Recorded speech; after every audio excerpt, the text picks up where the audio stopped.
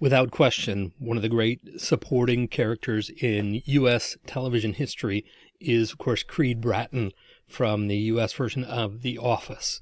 Uh, even the origin story of how Creed Bratton, which is, his, by the way, his real name, got on the show and stayed on the show is a, is a testament to perseverance. But the greatest thing about Creed is that nobody knows why he's there how is he stuck around this long? Even Creed doesn't really know what his job is. So everybody's question is, how are you still there? Everybody who worked in that office, everybody who watched the show is asking, how is this guy still around? But he just stays on forever, regardless of who's there and who's the, who's the manager, who's not the manager, whatever.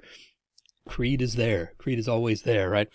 The same thing really is true about the traditional media here in, in our society. And traditional media is not dead. By traditional media, I mean newspapers, television, radio. We're going to focus on television and radio specifically, but people have been writing the obituary for these types of traditional medias for, you know, decades and decades. And yet they're still here and they're still important to us. They're still, uh, heavily used and watched and, and listened to. And so, um, that's what we're going to focus on today because we can't ignore television and radio at all. By, by no means can we do that. So we need to understand television and radio and how they impact writing and production for um, public, public, public relations, people working in the field of public relations.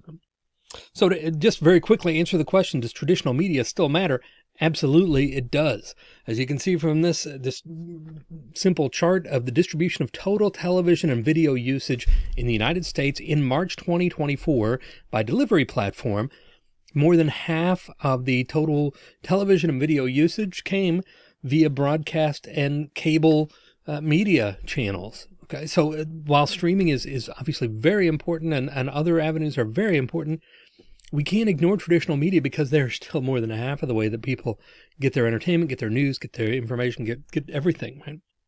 So I also just wanted to briefly touch on then what are the advantages of traditional media? If I were to make a case for why this is still important, apart from the fact that, you know, more than half of the U.S. public is using it as their uh, source of, of uh, media, what are the advantages here of traditional media? Because there are some. First, traditional media has a very diverse audience when we think about streaming platforms and and uh, and and you know even when we get into things like podcasts and and even really trade magazines and things those audience uh, audiences are very very specific and very niche right? They they they serve a very specific audience. And uh, so it's what we call fragmentation. The audiences are very fragmented. So they're focusing on a very narrow lane of audience right? But but broadcast and traditional media they focus on a very diverse audience and they have very diverse viewership. So they're reaching people of all ages, of all backgrounds, of all, you know, to, to various degrees, of course, but, but they have a very diverse audience, especially when you compare it to some of the more specific, um, fragmented media types like podcasts and things like that. So there's a very diverse audience in traditional media. Uh, traditional media is also more credible. Now, you can I know there's been a, a, barrage of attacks on, on traditional media, especially news media lately, and people questioning the credibility of news media and so forth. And you can have that discussion all day. That's fine. Um, but I'm telling you that traditional media is still perceived as vastly more credible than things like podcasts or, or, or even news programs that have a very, very specific type of, of uh, focus and of objective, right? Um, the traditional uh, media sources are still seen as more credible. When people want to know what's happening, really want a realistic, legitimate look at what's happening in the world, they go to their uh, traditional media sources, specifically their local traditional media sources, as we're going to discuss here in a second. So credibility is, is much higher in traditional media traditional media has more of an emotional impact. It's it's more local. Again, we're going to. That's the next point here, really. But uh, it has this emotional impact. We they tell stories and uh, and have the ability to tell stories in a in a way and in a scope that other sources do not and do not pursue. Right. So the emotional impact of of uh, traditional media is much higher than other types of newer media. Okay, something I've touched on now a couple times. I probably should add this is my first bullet point, but there's oftentimes a local connection with tr- traditional media, your local news sources. So again, if you want to talk about the credibility of you know, Fox News, MSNBC, those types of things. Okay, fine. We, we can have that debate and, and discuss that and discuss news versus opinion programming and so forth. But you don't have that as much with your local programming. So your, your local television stations, your local news, your local radio stations, there's that local connection. Not only are they giving you news that's closer to home, and that's important, but they're also that increases their credibility because they're they're not doing as much of that other stuff, of the opinion stuff, as some of the the broader network um, channels are. Right. So so even more so in local media, local traditional media, television, radio, newspapers, you have significantly enhanced credibility, and you're getting information that is really more uh, of concern to you in terms of uh, it affecting your daily life. Okay, so um, people are in essence egocentric, meaning we care most about those things that uh, impact us uh, most directly. And so uh, getting our news and getting our information and, and, and getting our things from local sources just makes sense because it's going to have more to do with us. Okay, so lots of advantages to working with traditional media. Now, again, we don't want to have that be our only source, but we cannot ignore traditional media as public relations professionals. You've got to use and, and leverage traditional media in every bit as much as you would any other type of, of media to, uh, to attain your objectives, whatever your objectives are for that campaign or that purpose. So what do we need to know about working with traditional media? I'm just going to be brief here because we've talked about this some in, in previous videos too. And so this has been a part of our discussion as we've gone along, but working with traditional media, first of all, we need to know your audience and that means know their audience, right?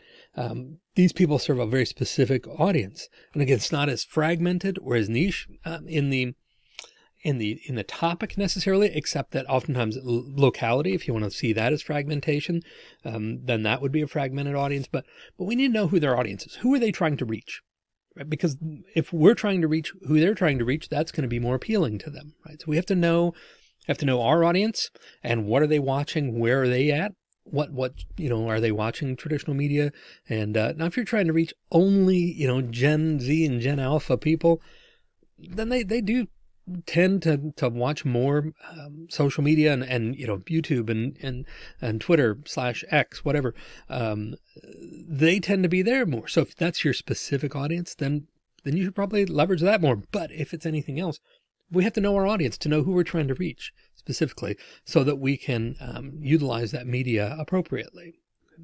So we have to know our audience because we need to know where to go find them, and so that we know that we're um, speaking the language of that that uh, media outlet in what we're trying to pursue. That it's going to be appealing to their audience because their audience is our audience. Fresh is best, meaning um, newer is best. You want to lead the pack. You don't want to be lagging behind. You want to be new information, novel information, interesting information. You want to have a different angle, right? They don't want to report on the same thing everybody else is or, or have on their network the same thing everybody else does. They want to have people come to them because they have something different, right? So that's why you see, especially on the news uh, side of things, you see they can't, uh, the, they're so anxious to pull that breaking news trigger, right? Everything is breaking news. In fact, it's kind of lost a little bit of its luster because everything is breaking news now, right? Uh, but but that's why because they want to pull people in. This is breaking. This is happening now. This is fresh. This is new and interesting and novel, right? So fresh is best, except that uh, fresh and exclusive is even better. So fresh is great, but and it is the best. But uh, but when you combine that with exclusive, meaning uh, meaning not everybody else has this, if you can sell that angle to somebody, then that's going to make it even more enticing because to be the only one that has that is significant. And even just look at television programming, right?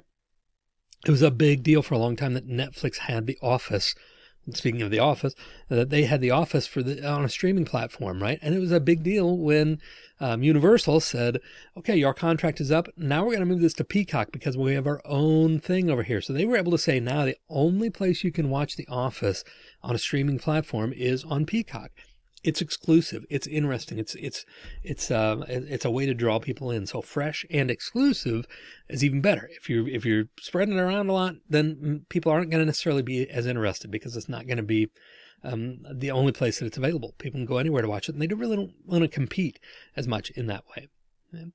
And when you go to traditional media, it is best to already have the full story, have as much developed as you can, make it as easy as possible for them to do this. If you can uh, share with them the entire thing, right, as a package, and you've already got it put together, that doesn't mean they don't do their due diligence or whatever, but but the more you can have it already assembled and put together and, and just make their job easier, um, then the, the, the more likely they are to pursue that, right? When your friend has a birthday, you don't go to your friend and say, Hey, happy birthday. I brought you all the ingredients for this cake so that you can make it. Right? Uh, you don't do that. That's rude. Why would they want to make their own cake? Uh, even if you give them the ingredients, that's just, uh, that's, that's kind of a jerk move, right? You take them the cake. You don't take them the ingredients to make the cake. The same with traditional media. You take them the cake as fully formed and baked and decorated as you can, right? And then you don't take them the ingredients to the cake and say, here, here's something for you to put together.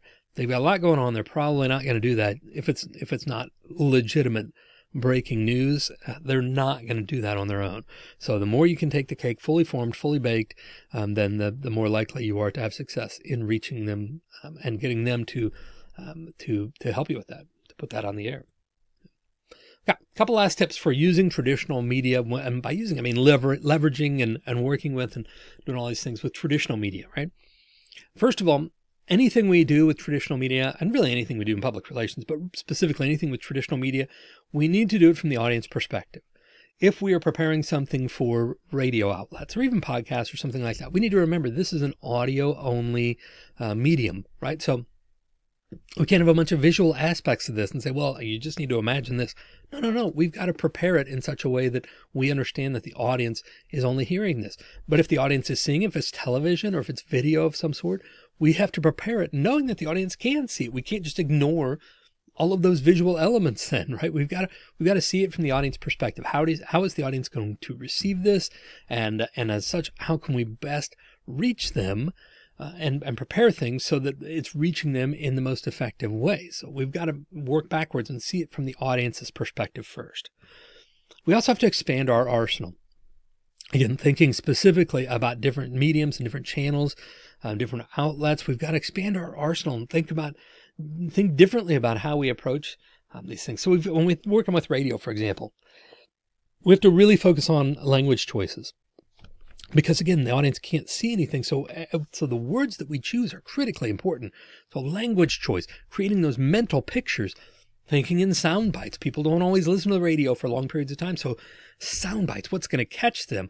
And then using um, what are known as ANRs or audio news releases, right? Not just a traditional paper news release and then asking the radio to, to put something together or read it on their news we can help them out by preparing an ANR, having some audio clips or having a full audio story we've already put together. Again, bake that cake for them, send it to them. They can use all of it. They can use part of it, you know, let them know what they can and can't do with it. But but we can do that. And, and then we can not only control that narrative a little more, but we're making it easier on them, making it a little more likely that we're going to get it on the air. Right. So, um, so we need to think about those things for radio specifically, understanding again, the audience can't, can't see anything. They, are only hearing it, um, or even something like a podcast, but we've got to expand our arsenal and really, if we're going to do something with radio, we've got to expand the tools in our tool belt, as we talked about in a previous video, right? We've got to expand our language.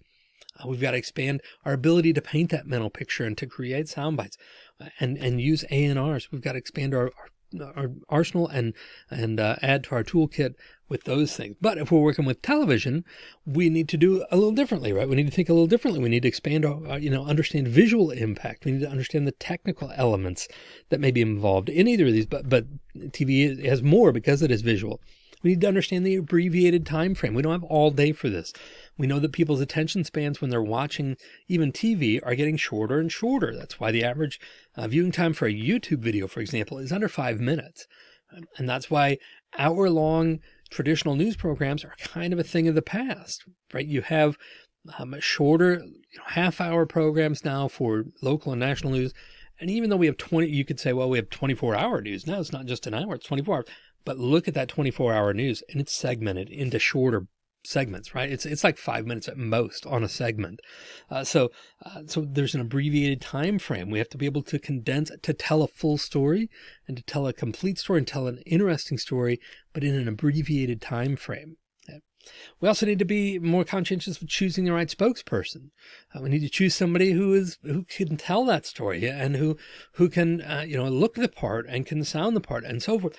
So there's these things that go into these things. We need to expand our arsenal and be able to uh, understand these mediums and, and and master these different elements of things as well.